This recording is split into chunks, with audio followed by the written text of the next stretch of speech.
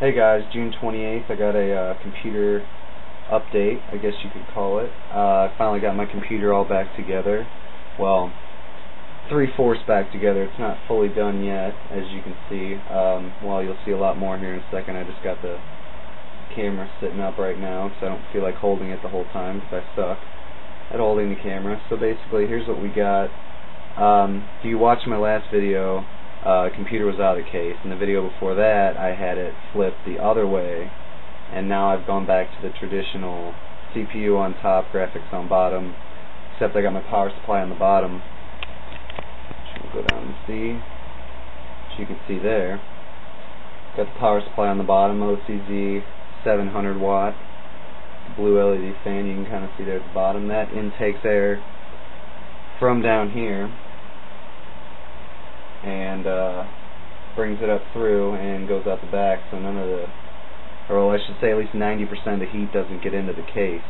So I mean this you know barely above room temperature. I mean under load I'm sure it probably gets a little warm but I'm not worried about it. And basically uh, if you look down see if I can get down here. There we go a little bit. I got my PCI Express lead for when I get my new graphics card, which will be, um, I don't know, a couple weeks, a month, two months, I don't know. I'm really wanting to get a CPU before I get another graphics card because I have more fun with those.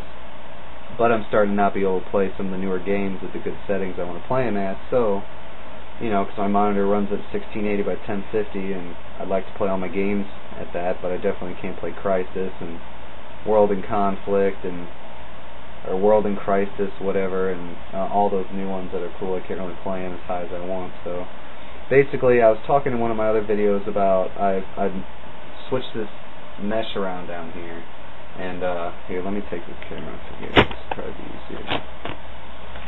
Alright. Basically,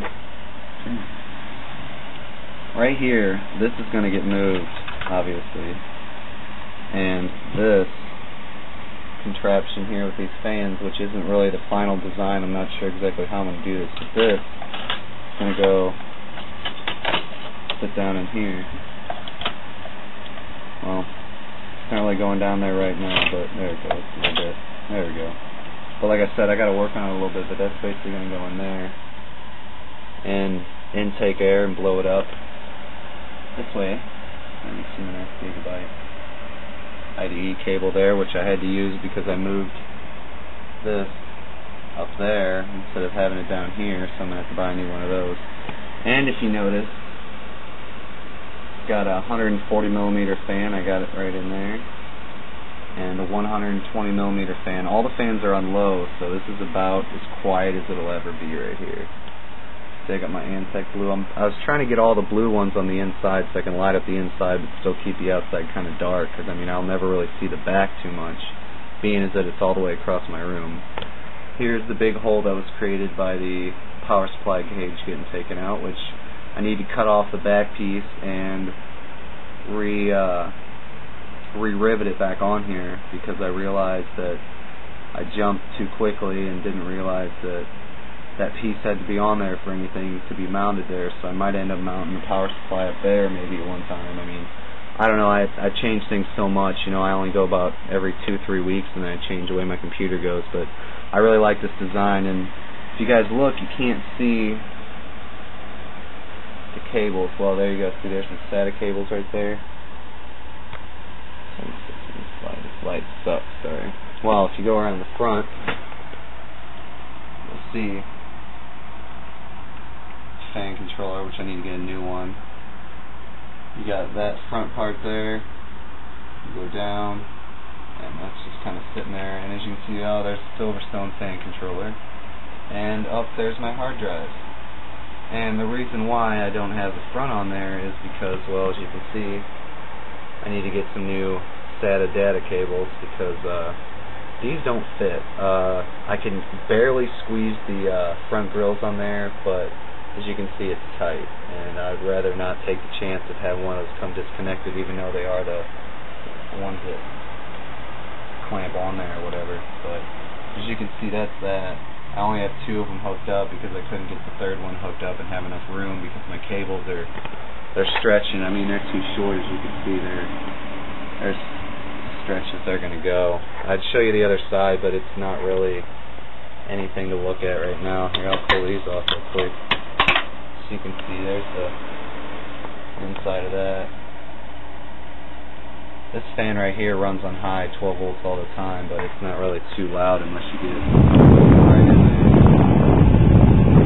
But not too bad. I got the Silverstone all the way on low. If I turn that all the way up, it gets kind of loud.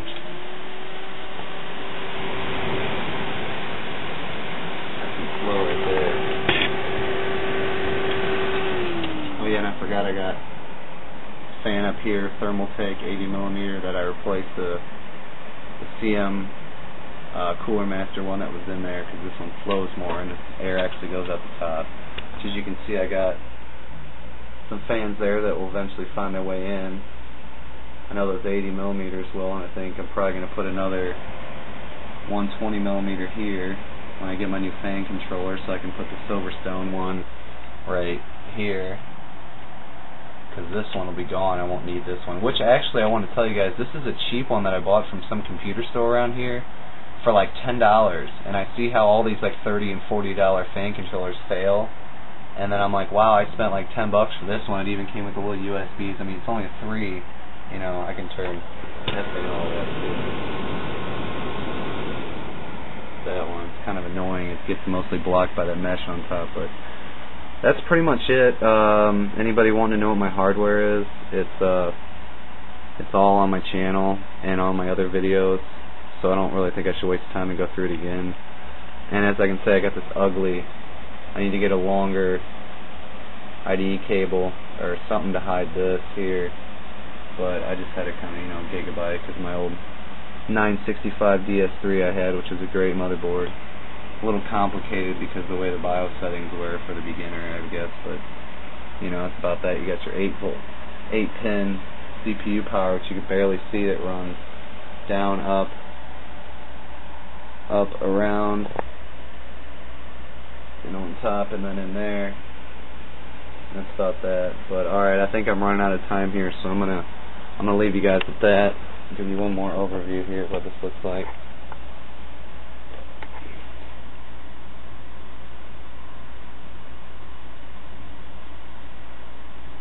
There you go. Thanks for watching. Uh, another update real soon when I get these here fans in there. And uh, thanks for watching. This is Rick Arter.